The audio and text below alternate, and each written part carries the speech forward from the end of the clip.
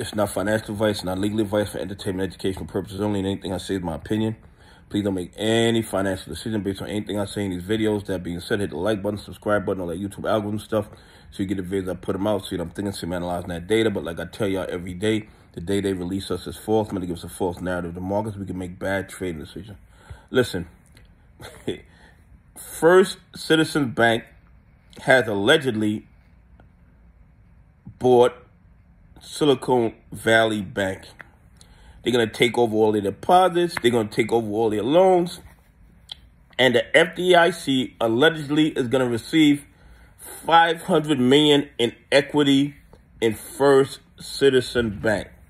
So technically, First Citizen Bank has acquired Silicon Valley Bank for $500 million. But it is the other part of, of this deal that that makes it a win-win for Citizen Bank. If there any future losses, they kind of have a unlimited line of credit with the FDIC. I mean, who wouldn't want a deal like that?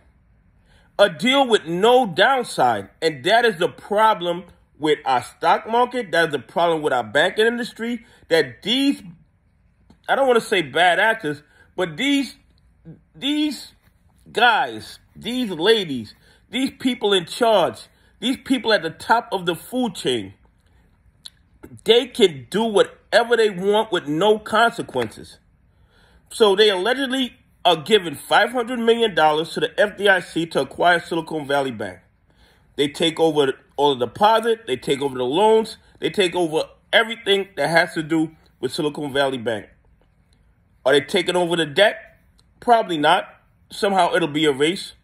But the fact that if it goes sideways for them, if it starts going down, they can just call Uncle Sam and Uncle Sam will replenish the bank for them, will give them additional funds. And that is the problem. If they want to buy Silicon Valley Bank, then they should buy Silicon Valley Bank. But they shouldn't have an insurance policy from the taxpayers because that's who's going to be paying for it. That if it goes bad, they won't lose any money.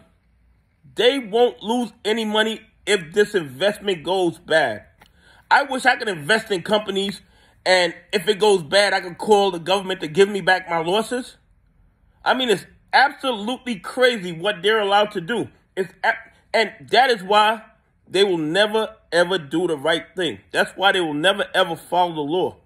Because there's never any consequences for their bad decisions. There's never any consequences for their bad actions. Anyway, please leave some comments. Tell me what you think. Do you think it's fair that First Citizen Bank gets to buy out Silicon Valley Bank, but if it goes south, they can just call Uncle Sam for additional money.